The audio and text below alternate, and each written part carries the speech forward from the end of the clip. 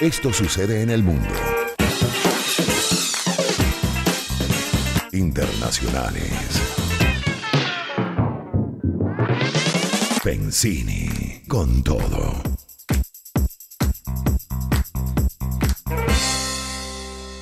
De regreso con ustedes, bueno, y tengo un entrevistado muy especial, porque él, aparte de ser profesor y compartir con nosotros por muchos años, él es experto en las elecciones, el sistema electoral de los Estados Unidos, cosa que es tan complicado como la gente que entiende el fútbol americano. Bueno, vamos a hablar con Tulio sobre lo que está pasando y bueno, que él trate de ser lo más didáctico y sencillo posible, por favor, para que todos entendamos. Tulio, fuerte abrazo, bienvenido al programa, muy buenas tardes.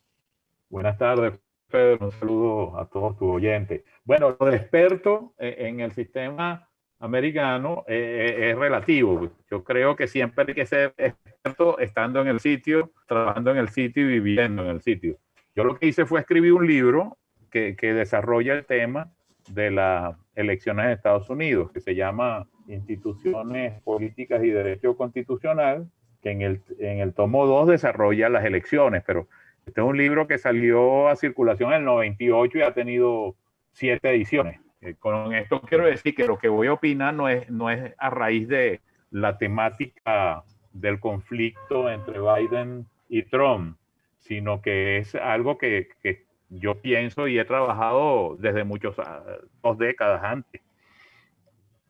Sí, yo quería empezar simplemente por eh, decir lo que está pasando eh, ya a Biden los medios de comunicación y algunos eh, mandatarios y algunos eh, políticos internacionalmente lo nombraron presidente de los Estados Unidos. Esto lo reforzó después que ya em, empezó como, aprobaron una transición cuando todavía no se ha eliminado todas las dudas de fraude en el sistema, pero ya ah, nombró a Janet Yellen, que fue la primera mujer ser presidente de la Reserva Federal de los Estados Unidos, y eso hizo que se impulsara el Dow Jones a nuevos récords, el Standard Poor's, la bolsa, todo el mundo celebrando, pero todavía no se ha declarado al presidente eh, Trump como perdedor, ni han declarado como presidente a Biden. Yo quería que nos explicaras un poco si todavía hay posibilidad para Donald J. Trump seguir siendo presidente de los Estados Unidos o no. Sí, eh, mira, lo primero que te quiero comentar es que esto es una apreciación personal.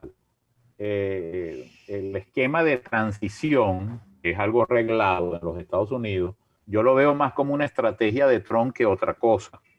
Eh, una estrategia dirigida, tú lo acabas de decir con especial conocimiento, primero a mantener la situación económica de los Estados Unidos en calma, sin ningún conflicto ni sobresalto. Creo que, que eso lo logró. En segundo lugar, para que no eh, sea señalado como que está obstruyendo procesos constitucionales, que eso podría ser algo muy complicado y que podría eh, derivar en un enjuiciamiento eh, posterior a, estos hechos, ¿no? Entonces, creo que él está manejando esa situación estratégicamente, porque el esquema de transición es un esquema de contacto donde se intercambia información, pero que no pasa a ser nada más allá que, un acto de cortesía de una administración con la otra. Eso por una parte. Por otra parte, tú bien lo dijiste también, eh, eso no está definido en este momento histórico, simple y llanamente porque la constitución eh, tiene un procedimiento sumamente complejo que es muy autóctono de los Estados Unidos. El único país que tiene este mecanismo es los Estados Unidos por una razón histórica y, jurídica. La razón histórica es que cuando se crea Estados Unidos eran 13 colonias y, no había medios de comunicación, eh, había cierta imposibilidad de la manifestación de los votos, pero sobre todo, y algo que hay que destacar, es que había un esquema de, de votación en grado el, elemento jurídico tiene que ver con la temática federal. Estados Unidos es un Estado federal de verdad, no como Venezuela, que es una entelequia, una mentira.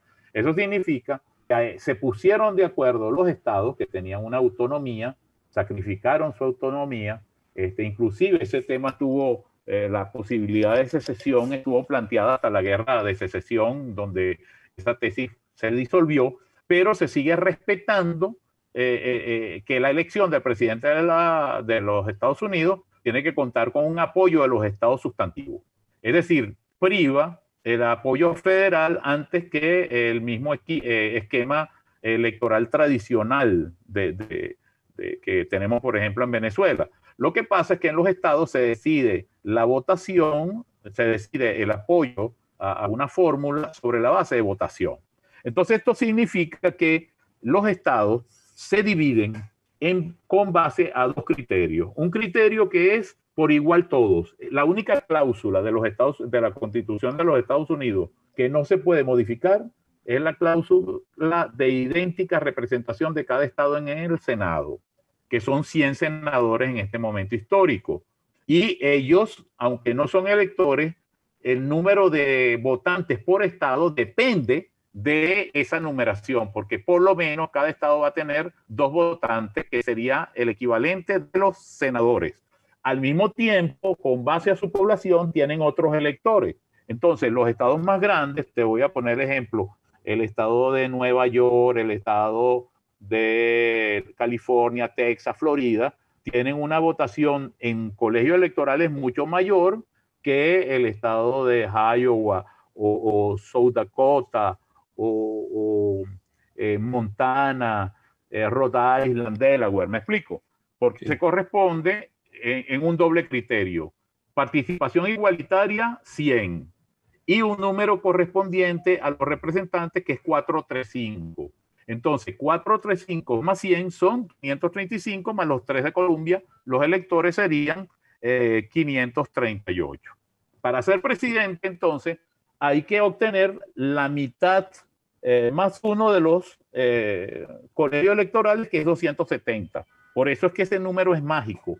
270 son los votos que se requieren y no depende de la votación popular. Ya ha habido casos muy claros donde una persona, y uno muy reciente que fue Al Gore, obtuvo mayor votación popular, pero perdió en los colegios electorales. Entonces, básicamente se trata de una elección por grados y que además tiene fechas.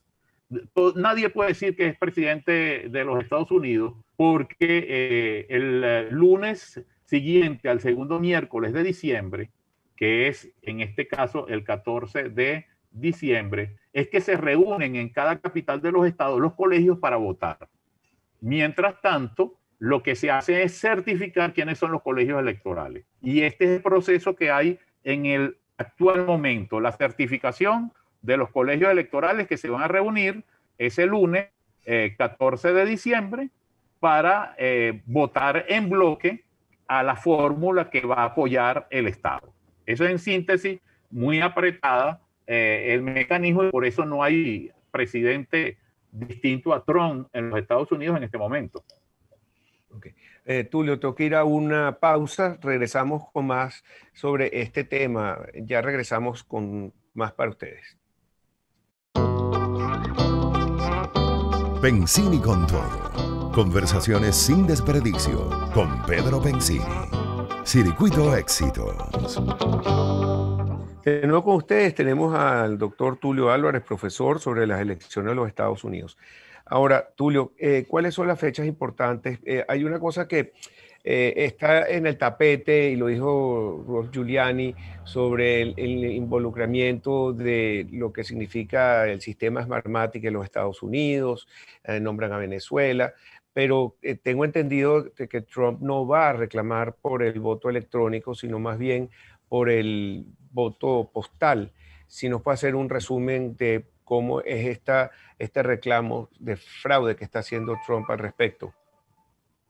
Mira, Trump está desarrollando una estrategia brillante desde la perspectiva jurídica, repito, en mi opinión.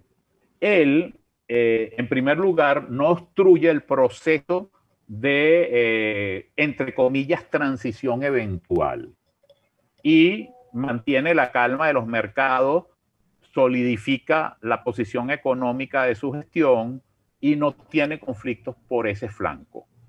Por otra parte, él focaliza su equipo jurídico en el tema del fraude postal. ¿Por qué el tema del fraude postal es tan importante? porque el venezolano no entiende eso. por una razón muy elemental.